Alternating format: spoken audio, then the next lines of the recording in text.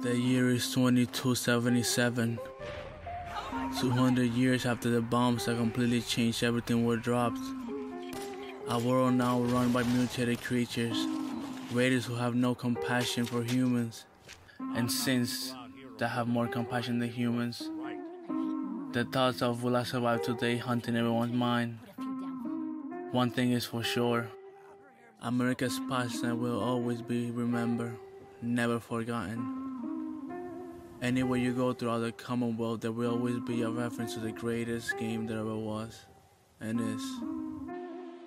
Greats like Shohei Ohtani, Mike Trout, Justin Verlander, Aaron Judge, Jacob DeGrom, Mookie Betts, Juan Soto, Vladimir Guerrero Jr., Ronald Acuna Jr. will always be remembered as the greats of our time. But there is one player that is entirely forgotten, a name you've probably never even heard of. Matt the Missile Murtagh. The year was 2024. All he had to do was perform his best against the best prospect across America in the 2024 Draft Combine. Oh.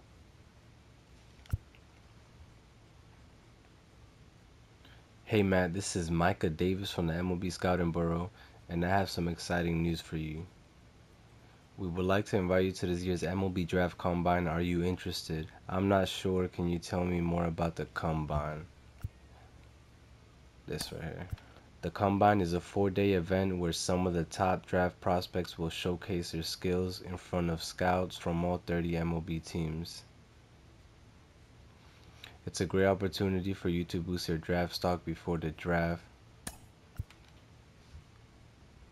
Nice, glad to hear that. It'll be a huge opportunity to show that you can what you can do before the draft. I'll, cool. I look forward to showing you what I got.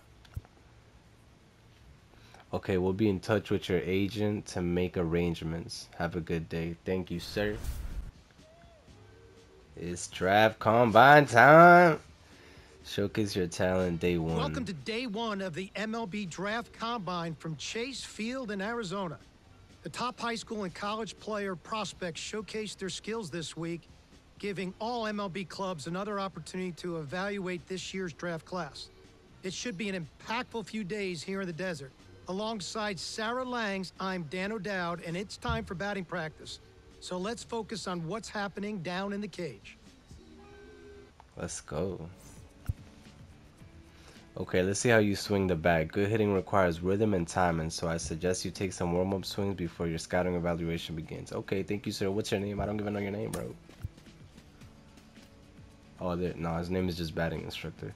We mostly want to see you make solid contact, but we do want to see what kind of pop you got. Try to stay within yourself. Try to stay within yourself, though. Sarah BP started now, mm. and uh, this is where the scouts really, really bear down. They're looking at presence in the box. They're looking at the balance, rhythm, and timing of the swings. They're looking at how clean a swing path is. They're looking how connected oh, a player can be to a swing, and they're looking at the ability if they can hit the ball the entire field.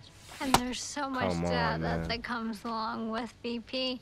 We've got exit velocity, which means we can mm, look at how often the player is hitting the ball hard.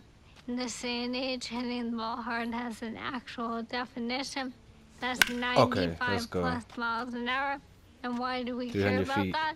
Because Home in run. today's oh. game, if you hit the ball hard, you're going to hit about 500 on mm. those batting balls with a 1,000 slugging percent. Another stat we'll look at is launch angle. And what look at we that launch angle. As a sweet spot batting ball is 8 to 32 degrees Let's of launch go. angle, basically a line drive. I got an A grade level right now. Let's go. These players will be making that kind of contact as well. You know, I think about big league players like uh, Alvarez, Judge, Ohtani, Trout. Um, mm. Their hard hit ball data is crazy. Their launch angles are very, very, very consistent. And you add all the things that we're evaluating and think about, Sarah, the pressure these young players are under oh, right now. It's probably the most pressure-packed BP these players have ever taken in their careers. Oh, come on. B grade level. I got three more chances. I gotta bring it up. Let's go. That's gone. That's gone. That's oh. Did that the wall? That's a foul ball. The foul balls count? They do? That's crazy. That's gone.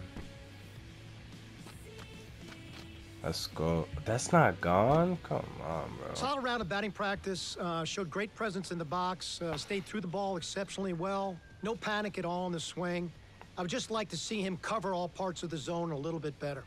What?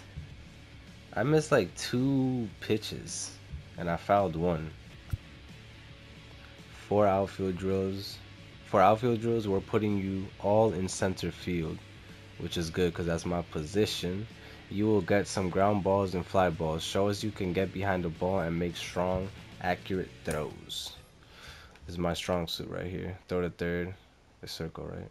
It should be circle. So we're now into outfield play. Uh, this is kind of one of my favorite parts of the combine.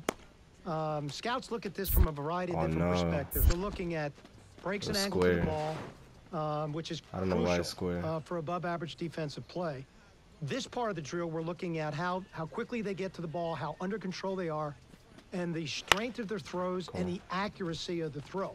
Deep down scouting perspective, they're really trying to see the spin Oh, on the ball, how clean it is, and so they get that one hop throw into third base Let's and home go. plate. No, I'm with you. I'm loving this. There's so many different ways to evaluate outfield defense in today's game. Of course, we can measure that arm strength. We Come can look at that accuracy of those throws, as you were saying. We can also measure speed, which is such an important part of playing the outfield. If you're not Come fast enough in the outfield to get to that ball, everything else is moot. So we can really measure all different aspects of playing the outfield. Come on, come on. And when you, you look at some of these players and then you think about Oh, the out, great bro. right fielders, which is the arm strength position in our game. Let's go. You think Acuna and you think about Tatis. You think about Kyle Tucker, Jason Heyward for a long period of time. And Sarah, pay particular attention now how they're making the outfielders move to the ball. They're trying to really see body movement and body awareness and how under control they are athletically when they go to execute this particular skill. Well, as you said, right field is indeed the premier A arm C? strength position What? in today's game, and I've gotten a number of you on that. In 2023, right fielders had an average come on. max effort arm strength of 90.9 miles an hour. That means the top Let's go. He's out. 10% of all Give me a right B. fielders throws average almost 91 miles an hour. Hey, That's really incredible to think about. And if you think about it in a game, when you're trying to build a complete roster, part of it is your defensive acumen. So when you have come on, come on. corner outfielders No, in particular that I can really triangle. shut down a running game, He's that still means out. it changes the whole still out, he's still out. positioning from a Ah, competitive safe. standpoint. And so See? these little simple drills, scouts are now projecting how those players will affect their ability to put that kind of defensive team on the field Come on, at the come on, major league on. level. Come on, come on. X triangle, X circle. No, it was square. Bro, I'm about to get a D. Really solid average. Uh, did everything well, nothing exceptionally well. Very, very projectable kid, very projectable body. I think every part of his defensive play can take another step in professional baseball with the right instruction and his discipline and his want to to be the very best defensive player he can be. That was bad. That was bad. Quite a clinic you put on today, Matt. Wow. That was definitely a clinic, guys. Keep showing us what you can do in the game, in these games coming up in the next few days, and you'll put yourself in a great spot for the draft. Who knows? You might even earn an invite to be at the draft in person. Whoa, mind you, there's a lot of talent in this year's class, so don't expect anything from just one good day. Rest up, and we'll see you tomorrow. Okay.